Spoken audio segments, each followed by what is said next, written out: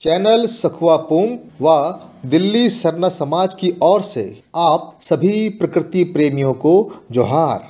आज दिनांक 29 अक्टूबर 2023 को दिल्ली सरना समाज द्वारा पंखराज बाबा कार्तिक उराव जी की निन्यानवी जयंती बड़ी धूमधाम से मनाई गई। कार्तिक उराव जी का जन्म 29 अक्टूबर 1924 में जिला गुमला के एक साधारण से गाँव लिट्टा टोली प्रखंड करौंदा में हुआ था। उनके पिता का नाम जौरा उरांव व माता का नाम बिरसी उरांव था। अपनी प्रारंभिक शिक्षा गुमला से प्राप्त करने के बाद उन्होंने बिहार कॉलेज ऑफ़ इंजीनियरिंग से इंजीनियरिंग की डिग्री हासिल की। उसके बाद एडवांस स्टडी के लिए उराव साहब इंग्लैंड गए और वहाँ लगातार नौ साल तक पढ़ाई करके विभिन्न डिग्रियाँ हासिल की। इंग्लैंड के हैंकले न्यूक्लियर पावर प्लांट का स्ट्रक्चर तैयार करने में भी उन्होंने अहम भूमिका निभाई। इंग्लैंड में एक आदिवासी इंजीनियर की प्रतिभा देखकर तत्कालीन प्रधानमंत्री नेहरू जी बहुत प्रभावित हुए और उन्होंने कार्तिक उरांव जी को भारत के नव निर्माण में अपना योगदान देने के लिए प्रोत्साहित व आमंत्रित किया। 1961 में उरांव साहब भारत वापस लौटे और एचईसी में डिप्टी चीफ इंजीनियर के पद पर कार्य करते हुए उन्होंने एचईसी को एक विश्व स्तरीय कारखाना बनाने में कोई कसर नहीं छोड़ी। उस समय आदिवासियों की दयनीय सामाजिक व आर्थिक स्थिति देखकर उन्होंने समाज सेवा का मन बनाया और राजनीति में प्रवेश किया। और संसद में आदिवासियों की आवाज़ बनकर तीन बार लोहरदगा से सांसद व कैबिनेट मिनिस्टर बने। कार्तिक उरांव जी ने कहा था कि आदिवासी के जीवन के अस्तित्व का आधार ही उसकी ज़मीन है। अगर ज़मीन है तो आदिवासी है, अन्यथा नहीं। उन्होंने यह भी कहा था कि अगर आदिवासी को जीवित रखना है तो उसकी संस्कृति, सभ्यता, परंपरा एवं आदि धर्म को जीवित रखना होगा।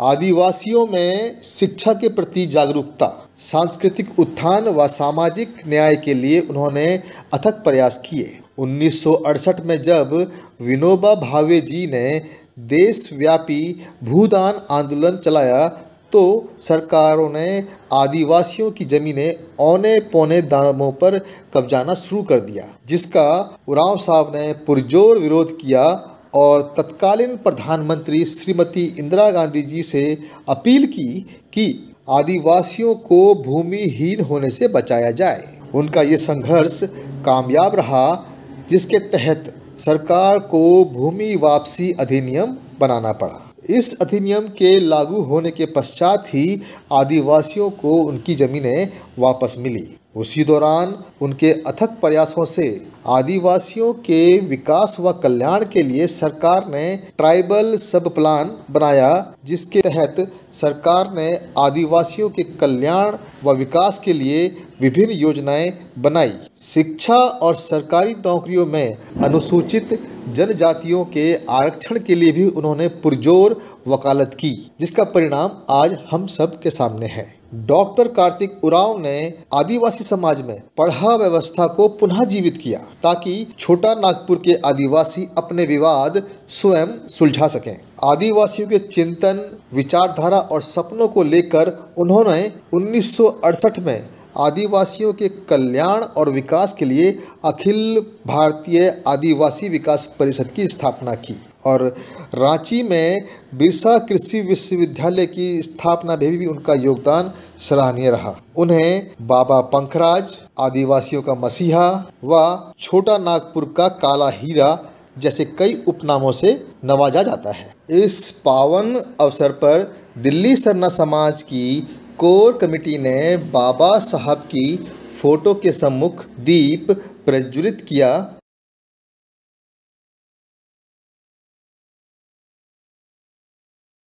समाज की महिलाओं द्वारा अनादि प्रार्थना, प्रवचन व भजन प्रस्तुत किया गया।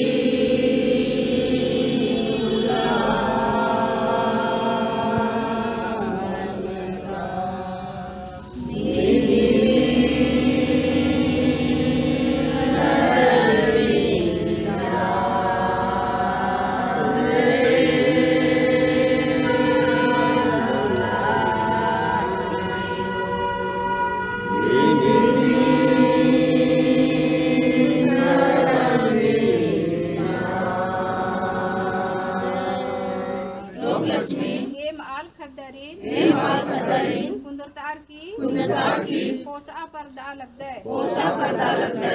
अरा आशीष दुआची आ लग दे। अरा आशीष दुआची आ लग दे। दया नना धर्मेश। दया नना धर्मेश। हेमन सौगे सारा। हेमन सौगे सारा। अरा अध्यक्ष श्री अनिल कुमार भगत जी ने क्षेत्र में कार्यक्रम की शुरुआत की। 99 साल मतलब सौवीं जन्मदिन को याद आई हमें। ये भी आज याद आई और हम इकट्ठे हुए। ये बहुत ही बड़ी बात है।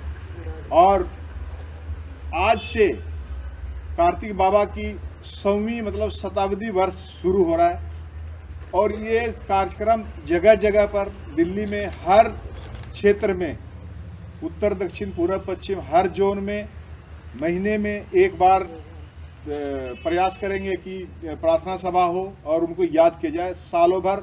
और लास्ट, जब 29 अक्टूबर 24 में इसकी भव्य तरीके से जो हम कर्मा सरूल मनाते हैं उस उस तरह से बड़ा एक प्रोग्राम करेंगे। कार्यकारिणी के सदस्य श्री राम किशोर क्रिकेटा जी ने बाबा साहब के बारे में अपने विचार रखे। सरना स्थल में आज हम एकत्रित होकर इस हमारे जयंती को हम बड़े ही आनंद और उत्साह के साथ हम मनाने जा रहे हैं। ये हमारे लिए एक शुभ अवसर के तौर पर आया है कि हम पूरे दिल्ली वासी आज हम एकत्रित हैं। इस अवसर को हम साथ साथ मनाने के लिए और कार्तिक उरांव की जो योगदान है और उनका जो समाज के प्रति और ट्राइबल हमारे सोसाइटी के प्रति जो उनका योगदान है, उनको हम जानने का, समझने का और उनके जो पथ उन्होंने दिखाया है उनको अनुसरण करके हमारे जीवन को और बेहतर बनाने का। संस्था के सलाहकारों में से एक श्री राम कुमार भगत जी ने अखिल भारतीय आदिवासी विकास परिषद के संबंध में डॉक्टर कार्तिक उरांव जी की सोच को अपने शब्दों में व्यक्त किया। समाज आदिवासी समाज ट्राइबल पर्टिकुलरली पूरे ऑल इंडिया के ट्राइबल के लिए कैसे एक योजना बनाया जाए, इसमें इनका बहुत बड़ा योगदान रहा। है 1968 में इसी योजना के तहत उन्होंने अखिल भारतीय विकास परिषद का स्थापना किया। इसका मूल उद्देश्य ये था कि हम आदिवासियों को, ज़्यादा से ज़्यादा लोगों को नौकरी पेशा में कैसे लाएँ और इनको सांस्कृतिक जो धरोहर है, इसको कैसे बचा के रखें। लेकिन इसमें मुझे बाद में थोड़ा सा इसका अध्ययन करने से पता चलता है कि हमने जितने भी लोग इसको फॉलो करते गए आदिवासी विकास परिषद को तो उनमें ये धारणा रही कि ये कोई कल्चरल प्रोग्राम को आगे बढ़ाने के लिए बनाया गया है और हम अपने कल्चरल उसको दिखाते रहें उस तरह से। हम दूसरे और जो इसमें रोज़गार की जो इसे इससे बहुत बड़ी जो उपस्थित सभी सदस्यों ने पंखराज बाबा की तस्वीर पर पुष्प अर्पित करके उनकी विचारधारा व सपनों के प्रति अपनी श्रद्धांजलि भेंट की। अंत में उपस्थित सभी सदस्यों को प्रसाद व भोजन वितरित किया गया। कार्यक्रम की कुछ झलकियाँ आपके लिए प्रस्तुत हैं।